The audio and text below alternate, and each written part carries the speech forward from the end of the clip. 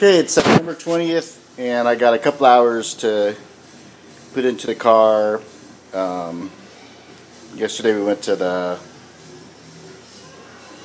Tudor United Sports Car Races, so I didn't get anything done then. What I'm doing now is fitting the transmission tunnel back in, and where I replaced the the bottom edge, I have a little bit of um, trimming to do so that it fits. And um, but you can see that since I cut it with the um, body saw the gaps are nice and tight so it shouldn't be any big deal welding it back up. Um, so that's my plan is to get that done today. Okay I got it in. It's all tacked up. So it's just a matter of going around and welding it up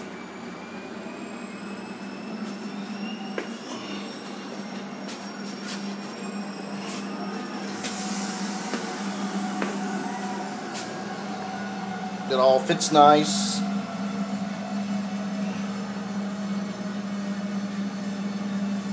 The trick will be welding up without burning it through.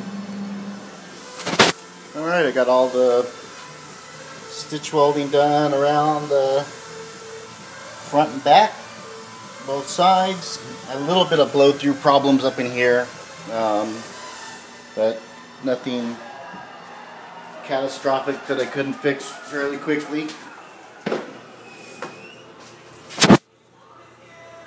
All done on this side too.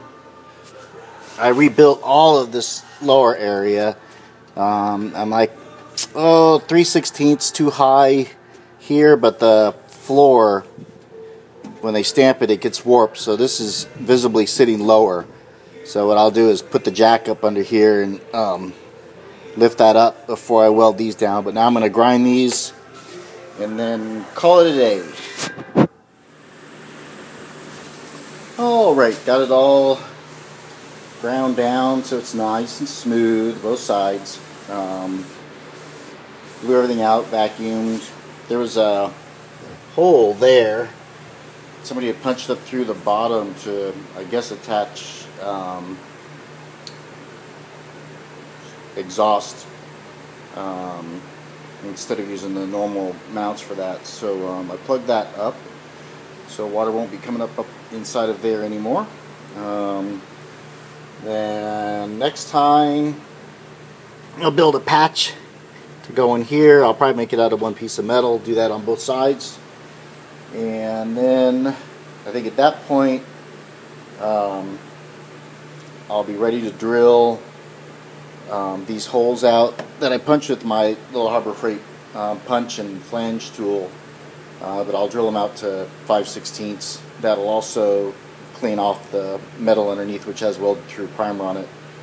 And then I'll put my jack underneath with uh, my bar of aluminum to push that up.